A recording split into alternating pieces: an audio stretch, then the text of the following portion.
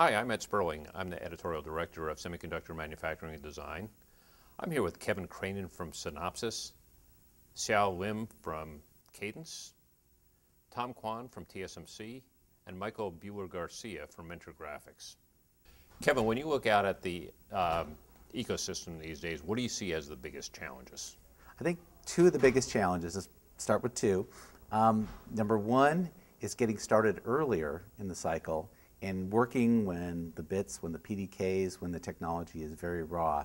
It's crucial because the process requirements are such that you have to start earlier if you want to get done by the time the customers want it. The second challenge, the second great challenge, is that it's, it's, it's all new material. And, and right now we're talking about new devices, FinFETs, which require a whole new look at uh, the, the, the, actual devices that you're working with. So you have to worry about new SPICE models. You have to worry about many of the new aspects, or some of the aspects of the process that they just never had to deal with before. Has there been this much change in the past for the entire ecosystem all at once? I, you know, I've seen an interesting chart from somebody, and I can't think who it was, but it kind of shows these two stable lines talking about metal with a few perturbations here and there, and then also a little static line for the type of devices that we had planar, but with you know small changes, maybe a little high K metal gate thrown in. But uh, all of a sudden, you look at, at 14 nanometer and things become very disrupted. You see new devices, and then you'll see even newer devices if you look forward into 10 as far as most people's roadmaps are concerned. So I think we're at a point of, of greater and greater, um, you know, greater and greater change uh, in both the devices and on the metal side as we go forward. When, when you look at the ecosystem, what, what are the big challenges for you? I see the biggest challenge is having innovation keeping pace with the requirements, um, the time to market requirements of the entire solutions, right? So, and when I, what I mean by solutions is we need to start looking at the Facebook, the social networking, the big data, data center, the infrastructure, and all the consumer devices out there, Internet of Things, all of these end applications, they're evolving so fast.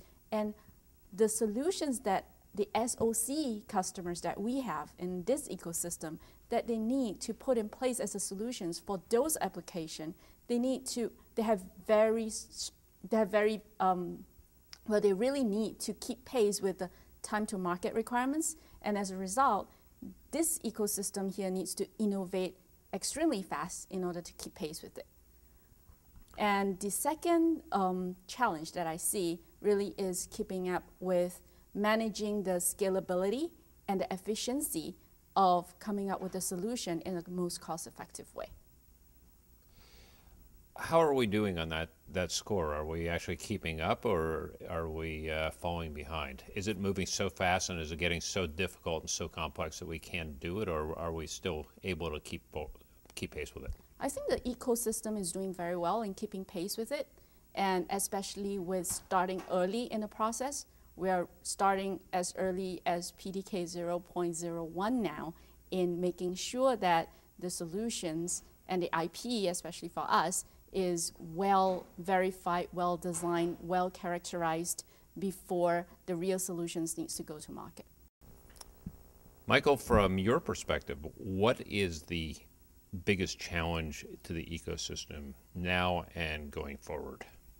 Well, I think we've come a long way on the ecosystems. We, you know, we could almost talk that this is ecosystem 3.0 based on what all the EDA partners, IP, packaging and test, and everyone that's kind of worked together.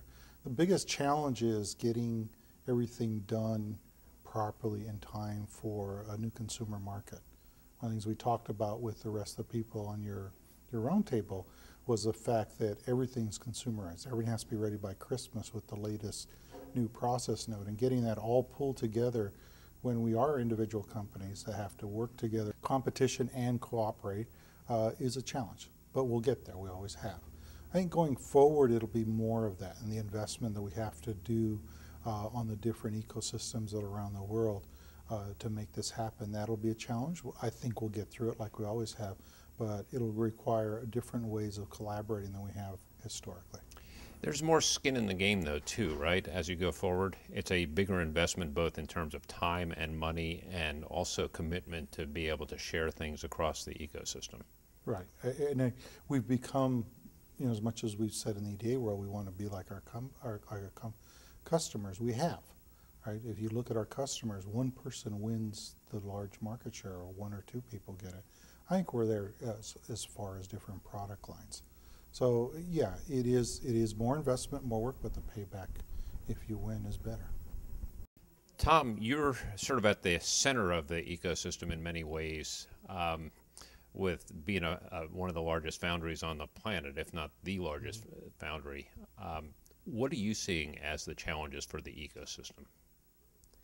I think the um, uh, challenges, as you know, as moving down to the advanced node like FinFET and beyond, is be able to uh, identify the issue and the challenges of the de- design flows and the design uh, methodology earlier, and be able to work with um, our ecosystem partner to come up with solution and uh, validate the solution so that we have all of them come together by the time the process is ready and go into production.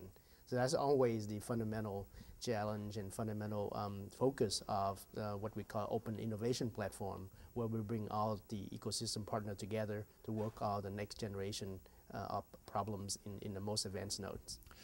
You've been working. You've been working on an ecosystem now, that basis for almost since your inception.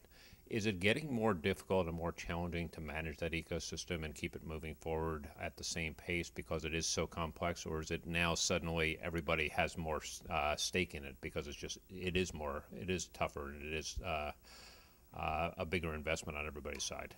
I think at the beginning, it, uh, the the we working starting about 12 years ago in the official way, uh, starting with Reference Flow 1.0 and then certainly the name Open Innovation Platform just started only five years ago, where I officially named it. I think uh, at the early days, we actually focused on very simple, um, basic physics problem down to the transistor level.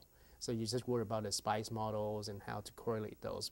But as the designer do more and more uh, complex design, we need to address higher um, uh, design uh, issues such as you know all the technology files and then the PDKs, standard cells, and eventually we work on the, the flows, which is uh, the, try to get the customer from RTL to GDS. So that's where I think the challenge is going forward is be able to uh, how to bring enough ecosystem partner with the right resources come together early and laid out a roadmap how to address uh, all the issue that can bring the customer from one point to another. So that, that's where, where we, we need to continue to be able to do a better job there.